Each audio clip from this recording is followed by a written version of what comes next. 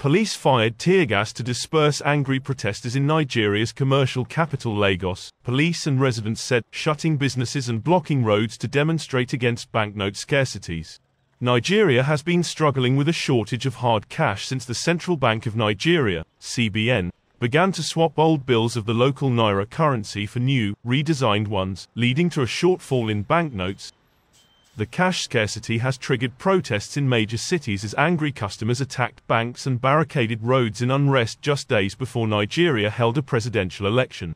President Muhammadu Buhari in broadcast sought to ease the scarcity by allowing old 200 naira bills to circulate until April 10.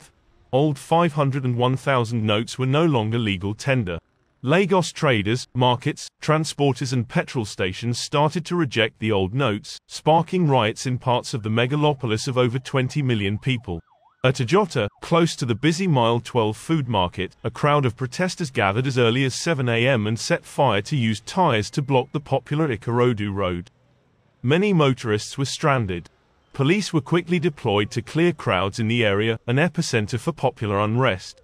Those protests were the latest to hit Africa's most populous nation over the cash shortages, which are raising tensions before the February 25 ballot to elect the successor to Buhari.